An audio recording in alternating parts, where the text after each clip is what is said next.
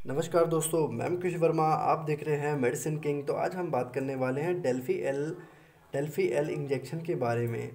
तो ये इंजेक्शन दोस्तों आई एम और आई वी है इंट्रामस्कुलर और इंट्राफिनस आज हम इसके यूज़ के बारे में जानेंगे, इसके क्या यूजेस हैं और क्या साइड इफ़ेक्ट है, उसके बारे में पूरी जानकारी लेंगे। तो वीडियो के अंत तक बने, अगर आप मेरे चैनल पर नए हैं तो चैनल को लाइक करें, सब्सक्राइब करें बेलाइकन को प्रेस करें, क्योंकि आने वाली वीडियो का नया अपडेट आपको मिल सके। तो आप देख सकते हैं, डेल्फी एल इंजेक्शन ये कौन सी कंपनी का है? तो आप देख सकते हैं एम सी एस्ट्रो इस प्रोडक्ट को बनाती है for the treatment of kind neurotherapy तो ये न्यूरोथेरेपी के लिए बहुत ही अच्छा इंजेक्शन है। तो इसके कंटेंट के बारे में जानेंगे तो कंटेंट इसका मिथाइकोबालामिन पारिडोक्सिन एच सी आई निकोनटामाइट इंजेक्शन इसमें जो कंटेंट मिला हुआ है। और इसके आ, हम यहाँ पर आप पढ़ सकते हैं यहाँ से इसके मिलीग्राम लिखें।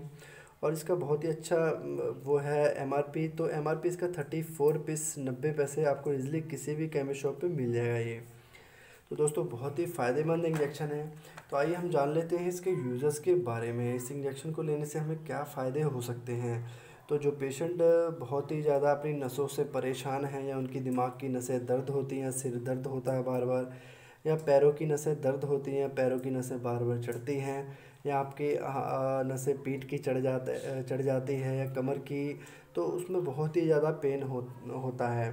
तो उसी उसी के लिए इंजेक्शन बहुत ही इफ़ेक्टिव है। आप यहाँ पर भी देख सकते हैं ब्रांड नेम डेल्फी एल तो और भी इसके यूज़र्स हैं, मैं बताऊँगा आपको।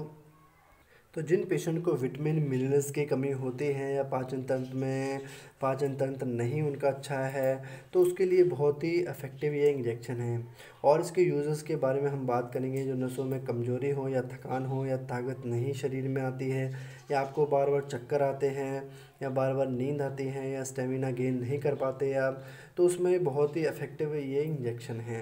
तो नसों की कमज़ोरी के लिए तो रामबाण इलाज है, ये एक तरह आपकी नसें बहुत ज़्यादा पेन करती हैं या तो उसमें बहुत ही इफ़ेक्टिव इंजेक्शन है। तो आपको ईज़िली किसी भी केमिक शॉप पे ये मिल जाएगा और इसके यूज़र्स हैं जो या आपको, या आप चलते चलते थक जाते हैं तो उसके लिए भी इस कैप इंजेक्शन का यूज़ कर सकते हैं आप। तो ये बिना डॉक्टर की सलाह के, बिना बिल्कुल यूज़ ना करें, ये सिर्फ़ मैं आपकी नॉलेज के लिए बता रहा हूँ। तो इसके साइड इफ़ेक्ट भी कुछ देखे गए हैं, या या आपको चक्कर आ सकते हैं इंजेक्शन लेने में, या उल्टी मिथली आ सकती है तो ऐसे कुछ साइड इफ़ेक्ट देखे गए हैं। तो फ्रेंड आपको ये वीडियो कैसा लगा? अगर आपको वीडियो पसंद आया तो वीडियो को लाइक करिएगा सब्सक्राइब करें, साथ में बेल आइकन को प्रेस करें। धन्यवाद।